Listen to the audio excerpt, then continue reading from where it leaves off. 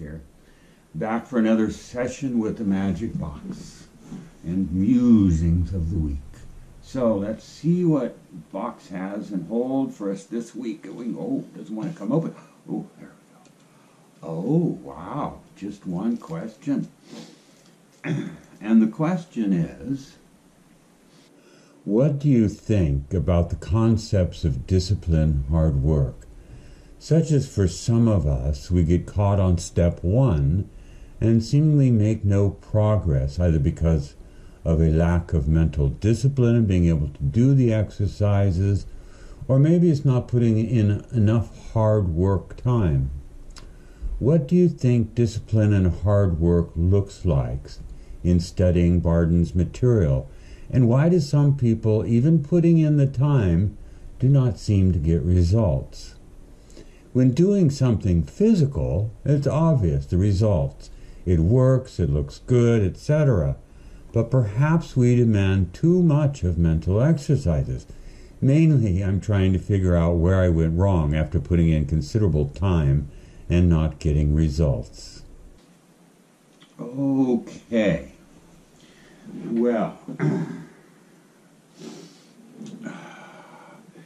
the only reason one might have difficulty with the first step, especially, is because you have misunderstood the exercises.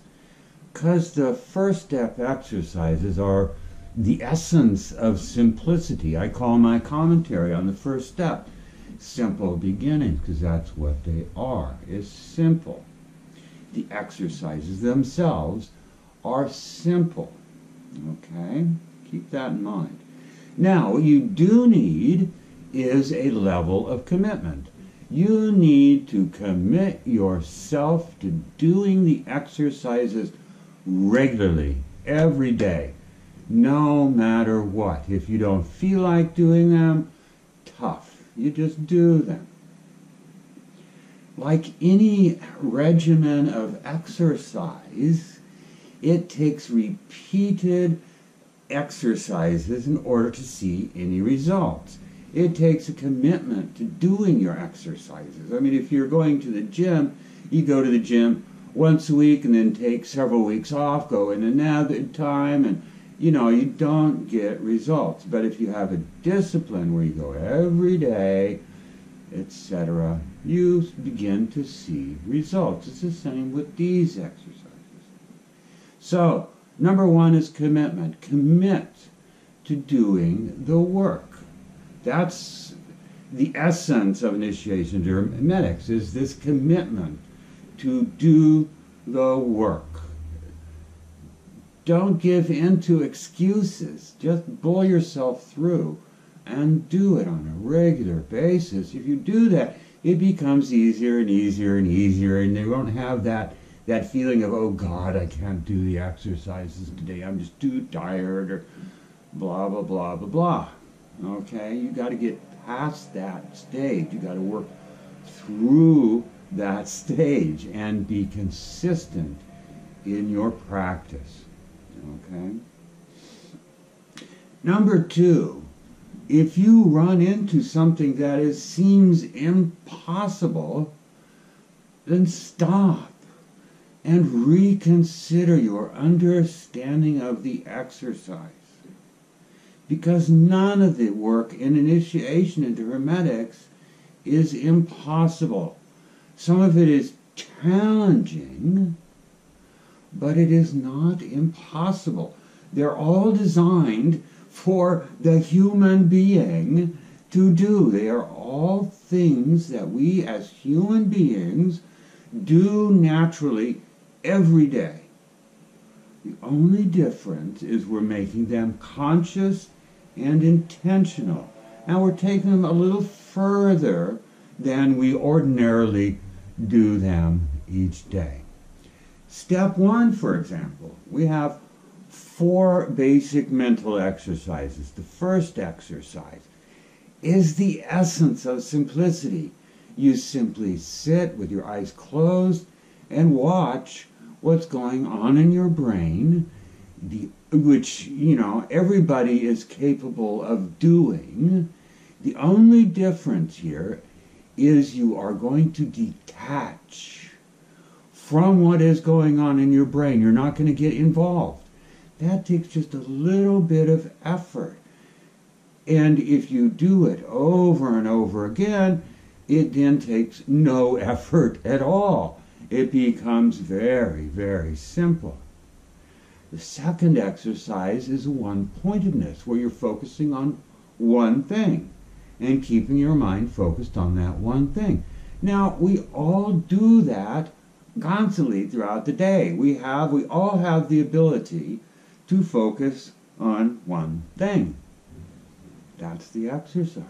You focus on one idea, not an image, not a sound, not a mantra, not music, etc.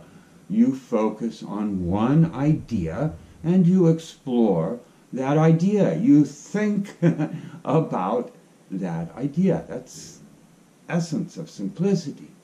The third is just being aware of yourself throughout the day, being aware of what you're doing and trying to put your full consciousness into what you're doing.